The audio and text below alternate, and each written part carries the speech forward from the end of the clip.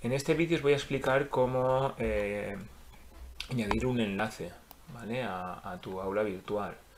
Entonces imaginaros que yo tengo el enlace del INE, del Instituto Nacional de Estadística, esta página la quiero eh, em, eh, la quiero añadir ¿vale? a mi aula virtual, la copio, copio el enlace, selecciono y copio y aquí le doy añadir una actividad a un recurso, un recurso, URL aquí en la casilla, en esta casilla, en esta incluyo el enlace y aquí, por ejemplo, INE, ¿no?